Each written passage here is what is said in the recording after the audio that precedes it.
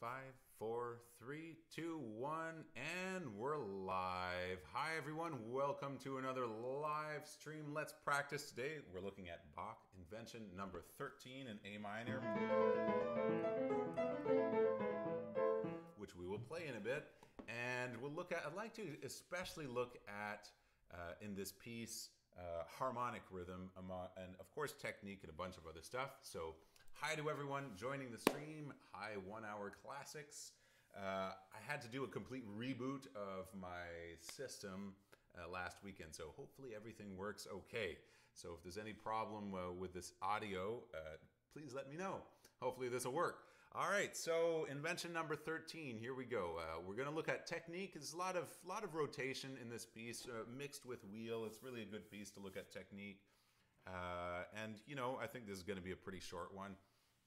So, okay, and uh, articulation as well. So, technique, articulation, and harmonic rhythm. That's going to be really interesting. This piece will talk a little bit about harmonic rhythm, and that should help you in any Bach piece that you're playing. You know, not just Bach, but especially Bach. Harmonic rhythm is very interesting. So, even if you're not playing this piece.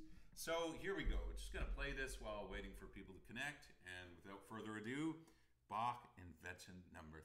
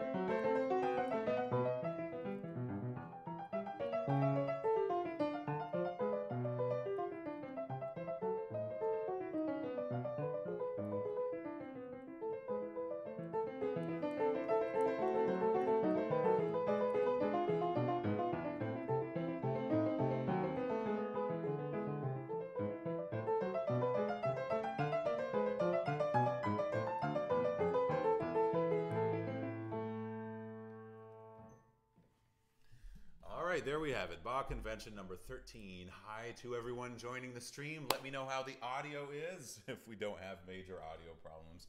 All right, so here we go. So in a lot of these Bach pieces by Bach, this, the weaker note values, usually eighth notes, are detached, right? It just sounds much better than...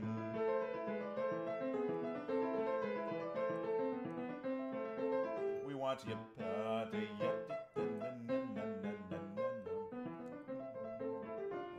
Especially that first thing in the left hand. We start out with a syncopation.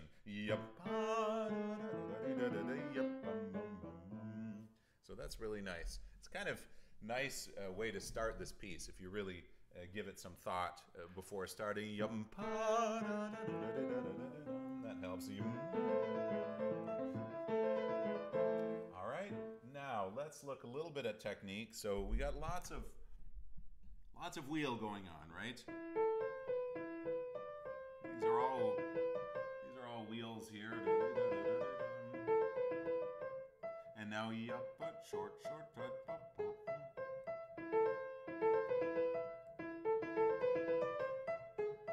Little rotation going on there. That's not too not not not the most important rotation we're gonna have in this piece is when we do So now we go back to using this kind of movement. Really good practice, this, this piece. So these are rotation. Then what would this be? Right, now we're going, there's wheel again. Rotation, wheel. All rotation here.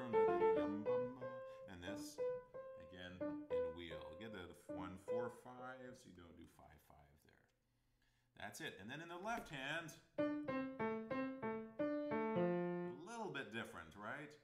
these three are three notes going down. Audio is perfect. Great. Yada, and then rotation here. So these three, these three in, in wheel, and then rotation here. Okay, so I hope that's that's clear. Always just come back to the basics with the wheel and rotation more than more than two notes, or let's say three notes, including the start one, going in one direction. So you have a note and then two more that are going up, or a note and then two more that go down. Use a wheel, and then when it zigzags up, down, up, down, you use this kind of movement here. And you can always see if you really pay attention to your to your hand. I like to use, you know, use the visual can really help you if you see that you're you're you're using the fingers, you know? That can help you to see if you got it or not, you know? That's fingers, right? That's not rotation. This is rotation. You see how that looks different? So sometimes you can see how it looks different when you do it right or not. That really helps. And then, you know, we just apply this in the whole piece. I don't think we need to go through the whole thing, you know, but you have that everywhere, right? Lots of rotation in this piece.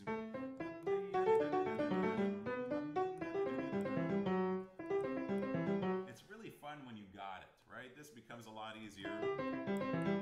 But, you know, it's not the easiest invention. I think it's probably one of the more difficult ones. An easier one would be a number eight.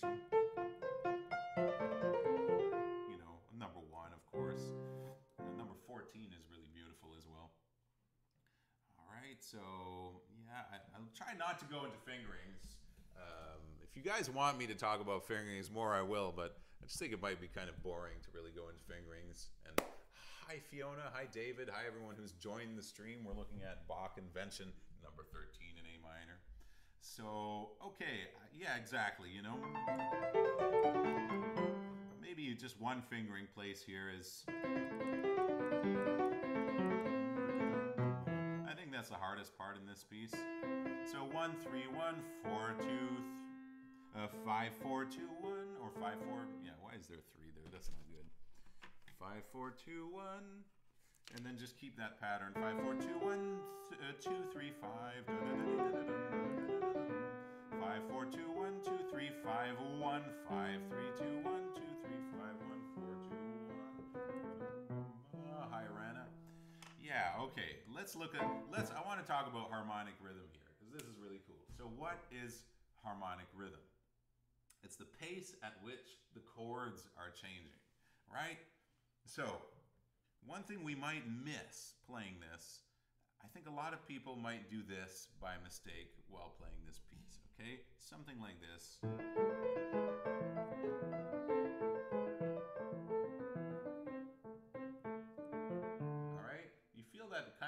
Harmonic rhythm I'm showing here, here, here, here. But, but there's something wrong with that, okay? There's something wrong with that because that's not exactly the harmonic rhythm. We have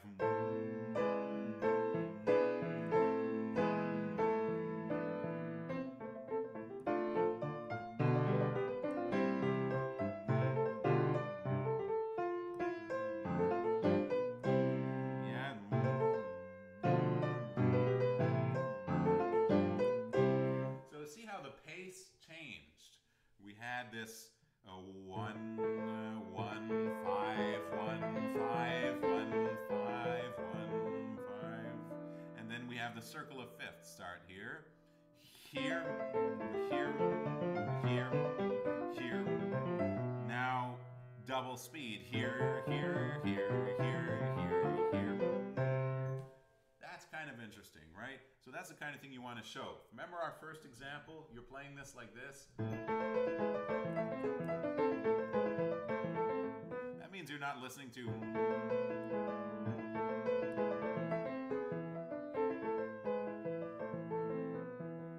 Right? That's missing. So.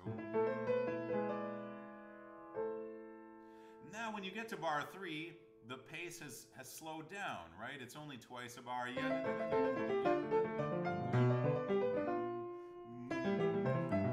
Right? So we have that. We don't have. Those are not two different chords. We have only two chords per bar instead of four. Sorry for the mistakes.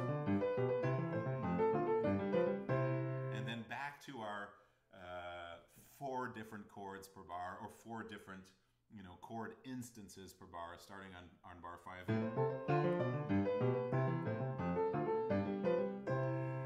there we go okay i hope that's clear? Is that I hope that explains a bit the harmonic rhythm. And then here's a cool thing, all right? Let's continue on this page of harmonic rhythm. At the end, we'll see something really different with this harmonic rhythm, something we haven't had in this piece, a much faster pace. All right, so five, one, five, one, five, one in C major, yeah? I like to play this a little softer, you know, because we had probably some kind of healthy mezzo forte or forte here. Not too loud, hopefully.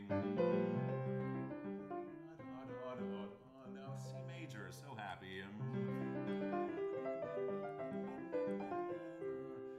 Kind of like, you know those organs with different sounds? You know, all of a sudden we'd be with a more like flute-like sound, you know. I don't know if you'd be able to do that with the organ with this piece, but that kind of thing, right? Very different texture. And now those detached notes become a little less short, you know, not less detached, they're still detached, but less staccato.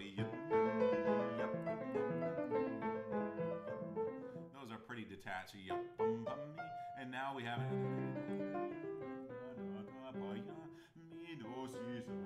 kind of long, those detached notes.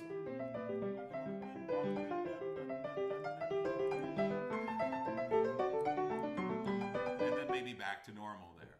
And also a little bit of extra pedal, you know, that's really nice.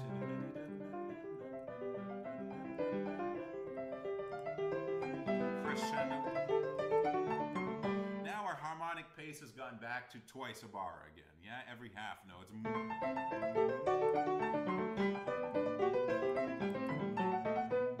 And then like in the beginning, that, that pace accelerates again. So you have this many, many times in, in harmonic sequences. The pace starts out slow and then there's an acceleration of harmonic rhythm. You'll have in a circle of fifths very often, not just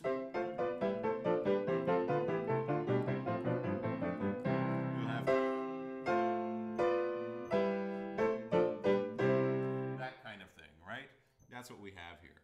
So mm, here, here, sorry, here, here, here, here, here.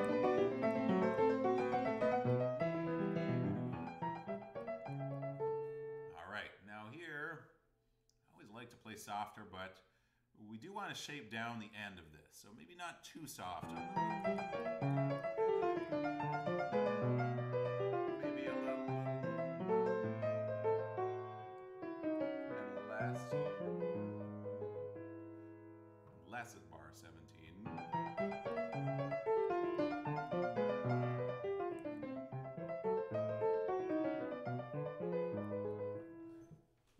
Bar 16 would be nice too, as long as bar 17 is less. Yeah, this is coming down and down and down. Here, softer, bar 18. Unlike our A minor beginning,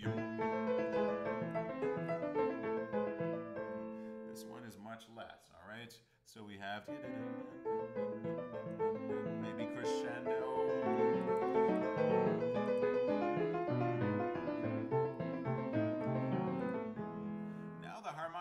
Is debatable, yeah? Is it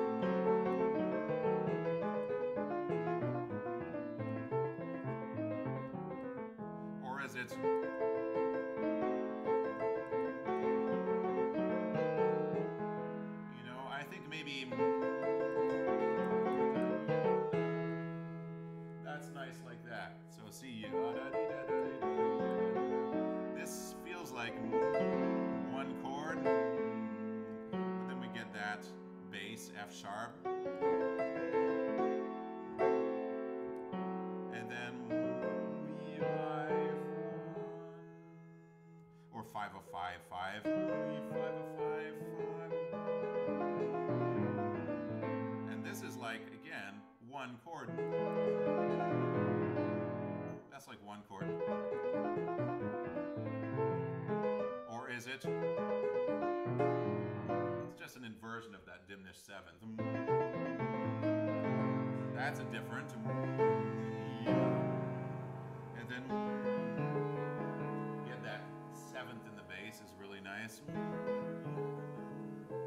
And come down. decrescendo when you have that seventh. So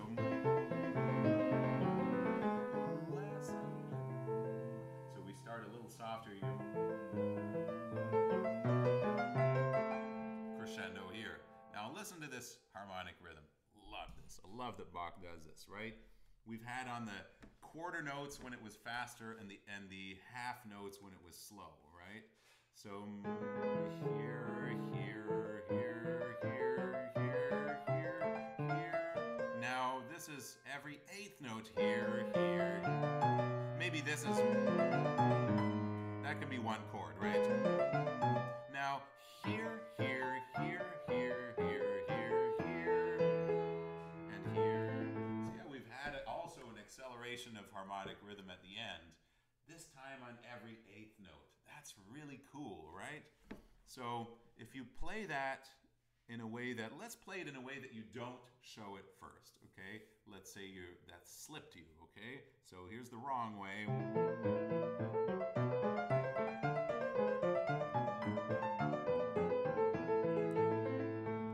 Sounds kind of fine, right? But what we're doing here is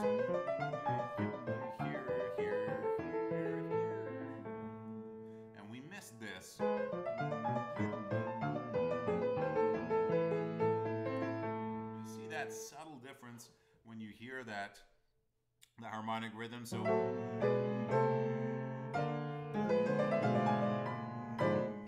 so we have sorry.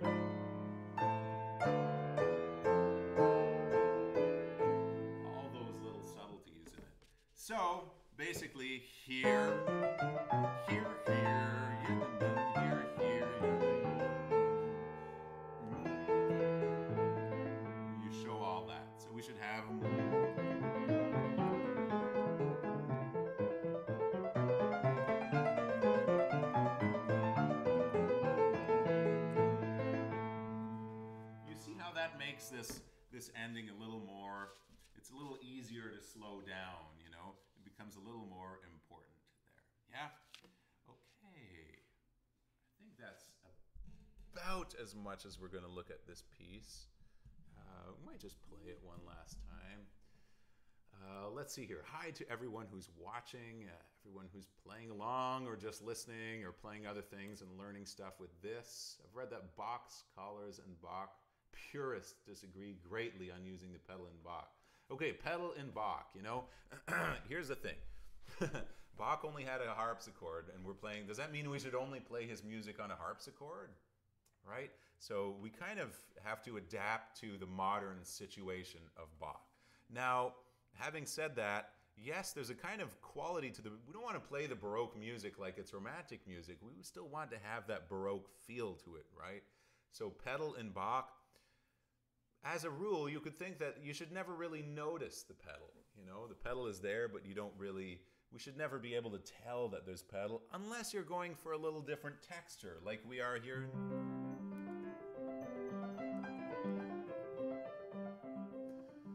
Sounds a little bit more organ-like, you know. I was always told that Bach, he didn't like the pianos.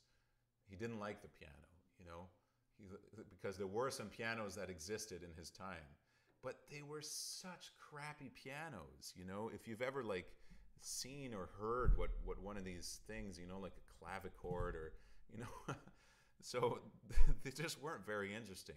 I'm not sure we would have liked them either you know? The, the, the definition of the sound was was so poor. And by the end of his life there were a couple of pianos that were okay and he liked them you know? But so we have to adapt we have to adapt with that, you know? Yeah, Rana says, my teacher says if, if Bach had a pedal, he would surely use it. So she approves. Exactly. You know, they just didn't exist in his time.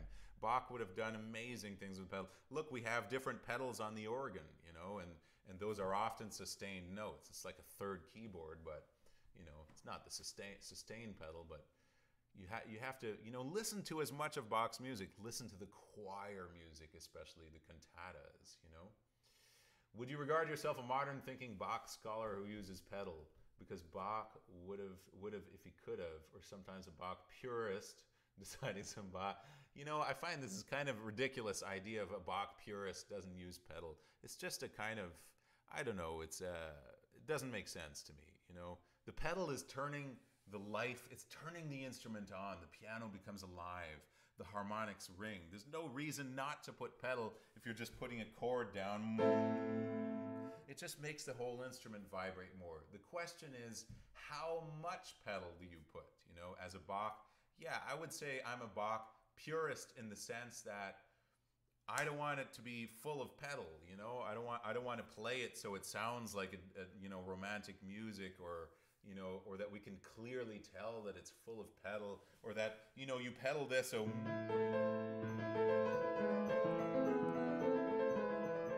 that's just not nice, you know. Every note is important in Bach. So you're not going to pedal so much and think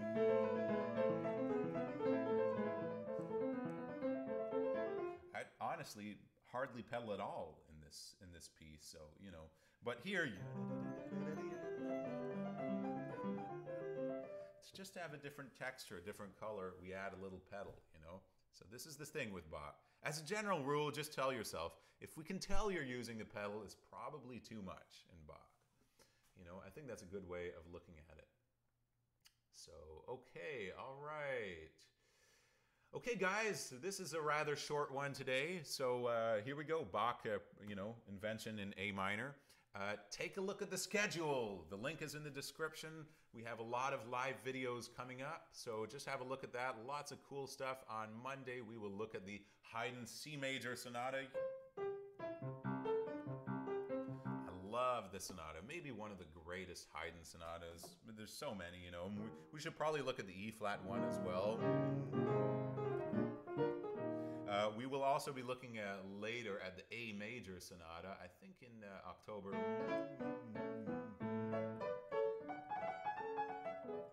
That's probably my favorite Haydn sonata of all time.